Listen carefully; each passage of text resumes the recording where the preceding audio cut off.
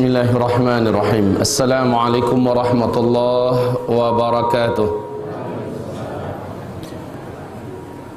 الحمد لله والصلاة والسلام على رسول الله صلى الله عليه وسلم رب اشرح لي صدري ويسر لي أمري واحلل عقدة من لساني يفقه قولي وبعد عباد الله معاشر المسلمين والمسلمات dalam 15 menit ke depan mari kita tambah iman kita.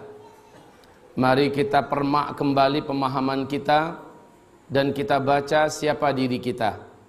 Sesungguhnya manusia yang telah dipastikan oleh Allah menjadi ahli surga setelah para nabi dan rasul adalah para sahabat. Allah berfirman di dalam surat At-Taubah ayat yang ke-100 bahwa seluruh sahabat pasti masuk surga. Dan Allah juga berjanji di dalam surat At-Taubah ayat 100 ini seluruh yang mengikuti para sahabat dengan baik dan benar juga pasti masuk surga.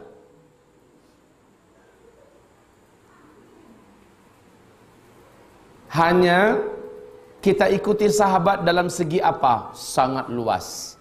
Maka tidak mungkin satu-satu yang akan kita bedah. Cukup saya fokuskan kepada pernyataan Ibnu Abi Mulaikah di dalam kitab Fathul Bari Syarah Sahih Imam Al-Bukhari di dalam kitab Al-Iman. Ibnu Abi Mulaikah berkata, saya sudah berjumpa dengan 30 orang sahabat Nabi seluruh mereka memiliki empat ciri khas yang mirip semuanya. Yang pertama, setiap sahabat Nabi yang saya jumpai merasa dirinya masih sangat lemah imannya.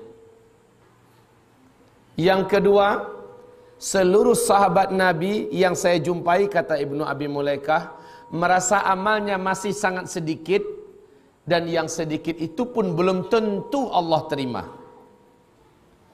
Yang ketiga, seluruh sahabat Nabi sangat bersyukur, berterima kasih jika ada orang yang mau menegurnya. Senang dia berterima kasih kepada orang yang menasehatinya, apalagi memakai ayat menggunakan hadis Nabi. Dia akan introspeksi diri, jika benar dia salah, dia taubat kepada Allah. Jika ternyata dia tidak salah, maka dia bersyukur masih ada yang mau memperhatikannya. Yang keempat, seluruh sahabat Nabi yang dijumpai oleh Ibnu Abi Mulaikah sangat yakin bahwa bisa jadi pada diri saya ada sifat-sifat orang munafik. Sehingga mereka gelisah, mereka awasi terus yang mana sifat munafik yang ada pada diri saya? Mana sifat munafik yang ada pada diri saya? Syekh Ibnul Qayyim Al-Jauzi Al-Jauziyah rahimahullah menyebutkan di dalam Al-Quran ada 32 sifat orang munafik. Di dalam hadis ada 6 sifat orang munafik. Silakan pelajari Bapak Ibu dan seluruh sahabat Nabi senantiasa awas pada dirinya mana sifat orang munafik yang ada pada saya. Kenapa sahabat begini cemas dengan sifat munafik? Karena mereka tahu orang munafik paling duluan masuk neraka. Mereka tahu dari Al-Quran orang munafik dikerak-kerak api neraka. Orang munafik sama kekalnya dengan orang kafir di dalam neraka. Oleh karena itu mereka sangat waspada. Munafik adalah orang Islam yang merasa dirinya Islam sementara menurut Allah dia musuh Islam.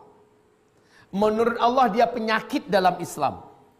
Makanya sangat penting kita meniru para sahabat. Jadi kalau mau ditiru, tiru dari yang empat ini dulu. Silahkan ulangi yang pertama. Merasa iman masih sangat lemah. Kedua, amal masih terasa sangat sedikit. Dan yang sedikit itu pun belum tentu Allah terima. Yang ketiga, bahagia, senang, bersyukur kalau ada yang negur. Yang keempat, sangat waspada, sangat hati-hati dan khawatir jangan-jangan pada dirinya ada sifat-sifat munafik. Tapi kata Ibnu Abi Mulaikah, saya sudah bertemu dengan orang-orang munafik kota Madinah dan negeri-negeri lainnya. Seluruh orang munafik punya kemiripan dalam empat hal. Dan Allahu Akbar, ternyata yang empat hal ini kebalikan 100% dari seluruh sahabat. Pertama, seluruh orang-orang munafik pasti yakin imannya dah kuat. Imannya dah teguh, imannya sudah mantap. Seperti batu karang di tengah laut. Tidak mungkin akan berubah. Ini gaya orang munafik. Yang kedua, seluruh orang munafik sangat yakin amalnya banyak dan amal itu sudah diterima oleh Allah dan dia berhak masuk surga. Ini bahaya nih Pak. Yang ketiga, seluruh orang munafik tersinggung marah, sakit hati kalau ada yang menegurnya. Kalau ada yang berani menasehatinya. Kamu baru kemarin belajar Islam udah berani nasihati saya. Kamu ngaji aja belum pandai sudah berani menegur saya. Kamu SD aja nggak tamat berani nasihati saya. Saya ini dari Timur Tengah. Saya ini gelarnya sudah doktor. Saya ini sudah bla bla bla bla. Dia pantang ditegur, pantang dinasihati. Eh, angka manakan den. Pandai-pandai lo ma, uh, den. Dulu den makan asam garam ini doang. Tidak mau dinasihati, ini gaya orang munafik. Coba buka kembali ayat-ayat Allah dalam Al-Quran. Hanya orang-orang munafik yang tersinggung kalau ditegur. Hanya orang-orang munafik yang marah kalau dinasehati dan diluruskan. Apalagi berperangaikan iblis. Iblis itu merasa ana khairun minhu saya lebih baik daripada dia. Masa dia mau nasihati saya? Enggak level. Nih, gaya orang munafik. Yang keempat, seluruh orang munafik la haula wala quwata illa billah sangat yakin pada dirinya tak mungkin ada sifat munafik. Jadi orang kalau oh, sudah seperti ini gimana mau menegur dia? Merasa imannya udah mantap, amalnya udah banyak, kemudian dia udah benar posisinya, bagaimana mau ditegur? Bagaimana mau dinasehati? Dan dia juga sudah yakin tidak mungkin pada diri saya ada sifat-sifat munafik. La haula wala quwata illa billah. Jom kita semuanya perhatikan kembali Bapak Ibu. Cek siapakah di antara kita yang mempunyai sifat-sifat sahabat tadi.